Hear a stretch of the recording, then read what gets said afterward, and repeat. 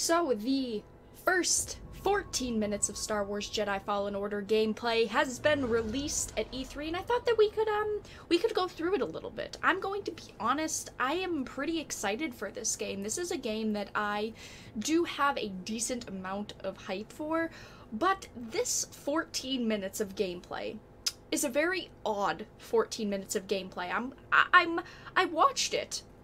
So this isn't a total first reaction but a lot of it seems very not what they want to show. If I was showing 14 minutes of a game that people are very excited for, that we need people to have hope in, to purchase, because our past couple of games have failed, cough, EA, cough, I would show 14 minutes of something better. Now, about half of this 14 minutes does show a fair amount of gameplay, and the gameplay that we see does look very good. But a lot of it just feels very slow, very walk simulator, and that is something that I'm seeing here. And even in the conference afterwards, them telling us their kind of description of the game they said something that really turns me off from the game, but I'm not completely turned off from the game. I still am considering purchasing this at release because I love the Star Wars games. They said that you will not have the option to go light side or dark side. This is Jedi Fallen Order. You are a Jedi, and I understand that that is the point of the game. That's really what they wanted to go for with the game because the game is called Jedi Fallen Order. You are a Jedi running away kind of from the Sith and you're trying to escape because they want to wipe out the rest of the Jedi because of the timing of the game where the game is placed in the Star Wars universe and the canon. But I felt like every Star Wars game, nearly every Star Wars game, maybe besides the Lego games, you've always had a choice of what you could be. The experience of Star Wars was always yours to make. You could always make the the light side choices, the dark side choices. And it sounds like this is a very linear game, and that isn't necessarily bad either. I do like more um, linear style games. I do like that, and in Star Wars, the linear style games are very good usually. But I just wish that even if you could not become a Sith or you could not become a full-on Sith Lord or Darth, I still wish that you could make dark side choices. That is what I love in Star Wars games is the choices. I love being able to choose the light side from the dark side, making good choices versus bad choices. What happens if I make a different choice than someone else?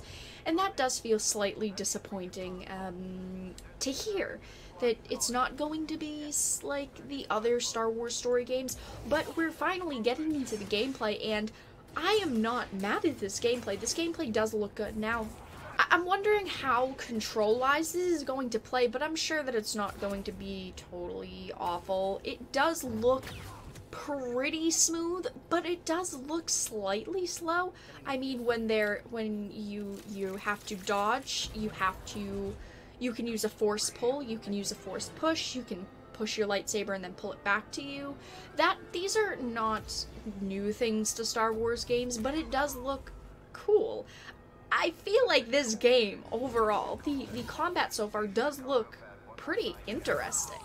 The cutscenes that they're showing do look good as well. Graphically, this game does look very nice, and this does look like it's going to be a very cool addition to the Star Wars franchise. My only worry is, is this game going to be long enough? Now, I understand that most games, you have to look at most games, a lot of them now are usually like a 10 to 15 hour campaign.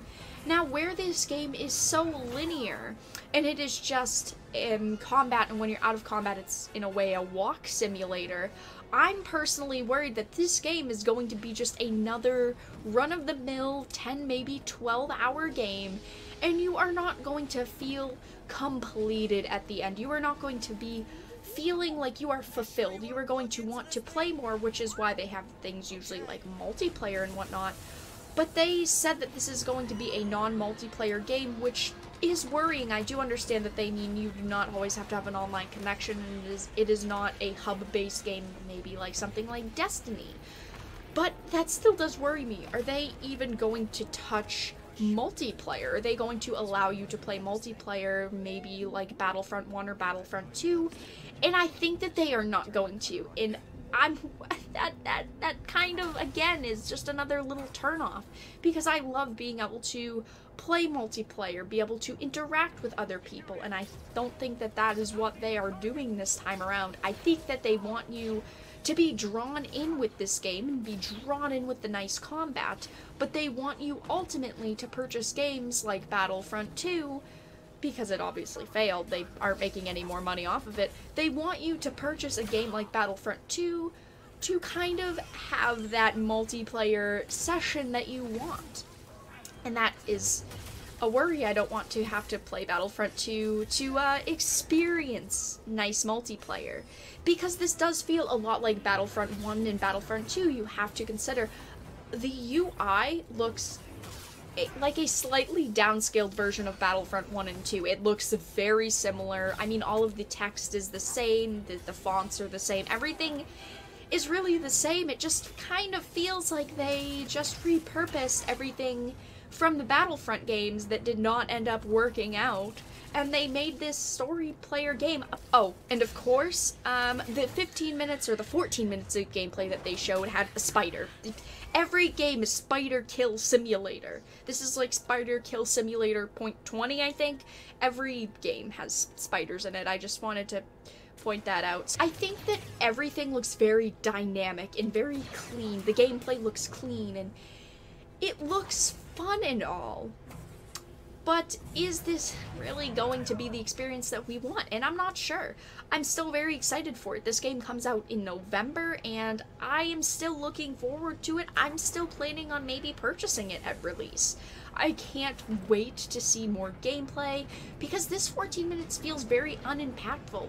You have 5 to 6 combat sequences, and you have one almost boss fight but overall, the graphics look very good. They look pretty decent. They look nothing super fantastic and, and, and, and unique, but it does look pretty good please feel free to use the comment section down below um, and let everyone know your thoughts and opinions on the gameplay. Are you excited for it so far? Does this feel very Star Wars to you?